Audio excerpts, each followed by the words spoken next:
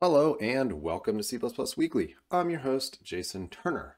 I'm going to pick up where I last left off on understanding the difference between const and non-const member functions by trying to give you some insight into how these are actually implemented by the compiler.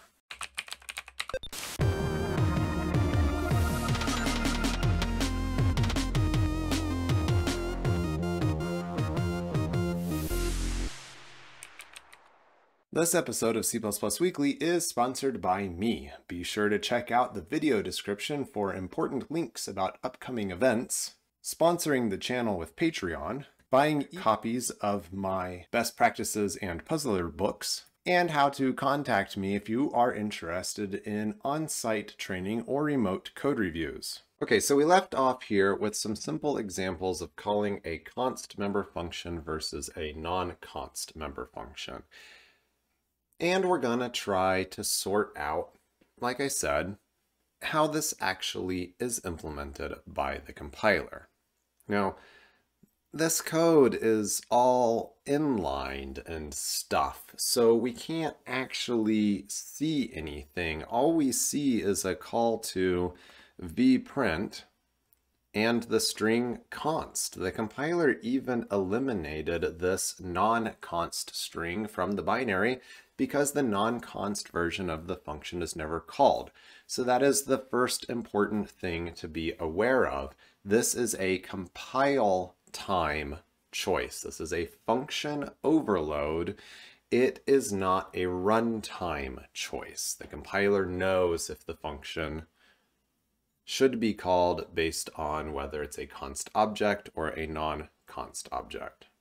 So we're going to strip back some of this to just the bare minimum of things that we need to actually be able to observe.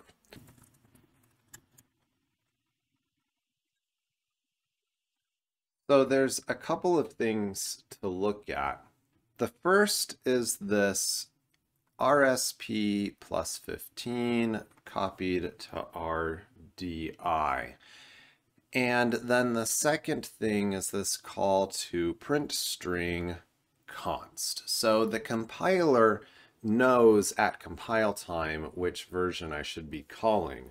When I remove the const here, then I can see here that the compiler is generating a call to the non-const overload for print string. And in both cases, we have this RDI. Let's, let's take a quick look at what that RDI is.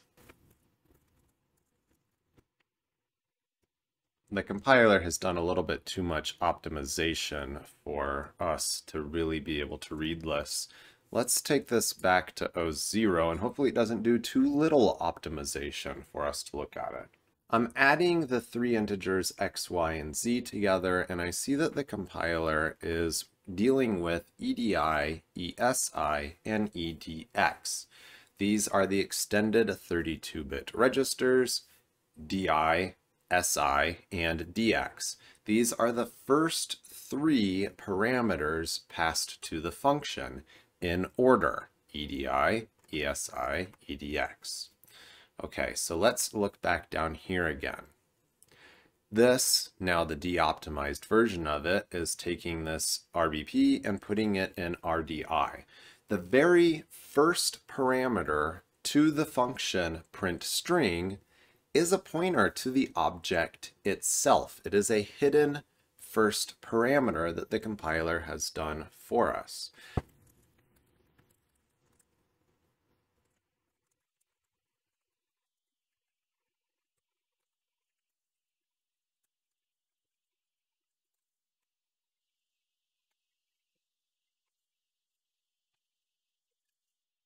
Okay, we've done a little bit of code reorganization. I changed the name of this thing from string to data because we're kind of changing the nature of what it does. I didn't want the naming in the comments to get too far out of sync with the code example.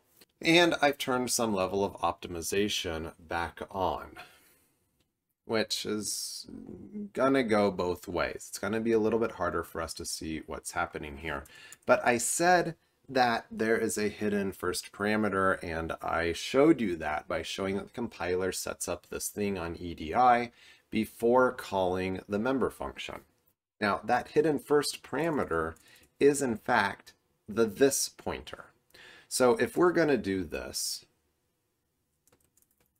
increment my value here like we are doing, this is, for the sake of this code, exactly equivalent to if I had done this. If I had said, please increment my m underscore value, the thing that this points to. So this is a keyword in C++. It has been there since the beginning. Let's go ahead and do this. I want to say I want an explicit pointer to me. So I have this, this, if you will.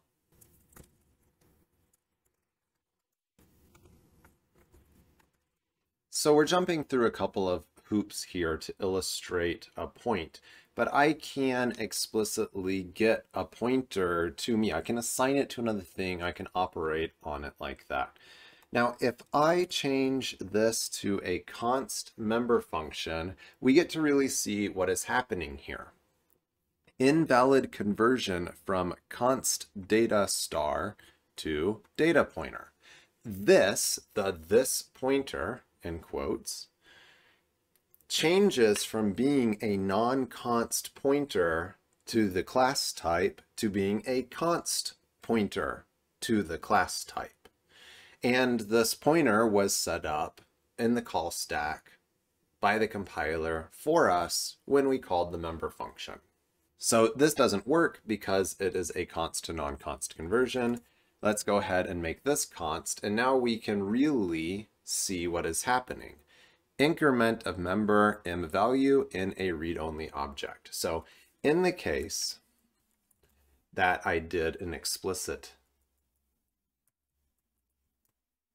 this increment of member m value and read-only object. We're getting the same kind of thing here. So we have a const pointer to this, and that is why this code can't compile.